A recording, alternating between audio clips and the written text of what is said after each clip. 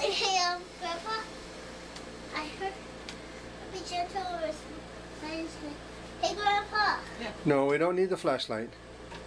I need you to read the book to to uh, Great Granny. Okay. Sit here.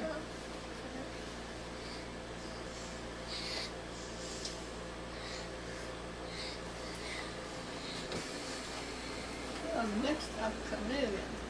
Right. Eric, Grandpa, ta- can you take a picture Yeah. for me? I am Pi. Eric Carle.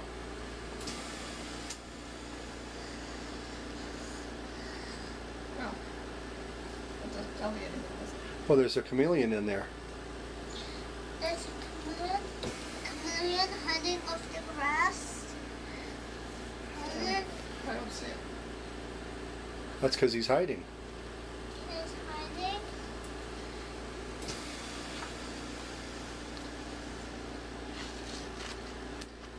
The next up, chameleon Eric. No, no, there's, there's a chameleon. There. Right there. There it is.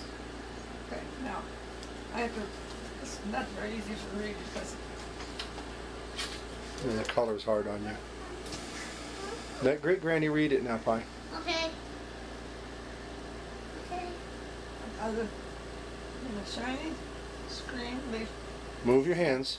sat a small green, There's a green leaf.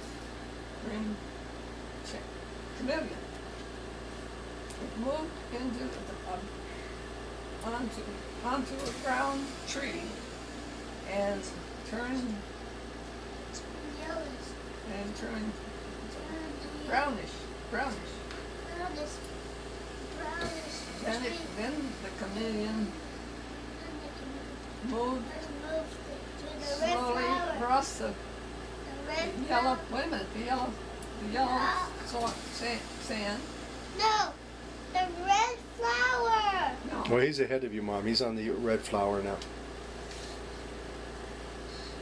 Okay, Pi, go ahead and turn the page for Great Granny. Okay. Maybe this will be easier to read because it's on white paper. And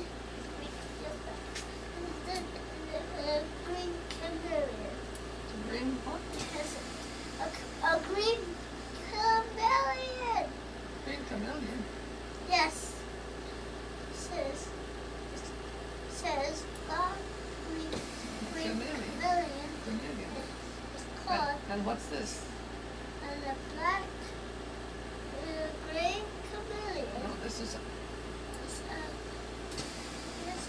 called gray. gray And now, chameleon. oh,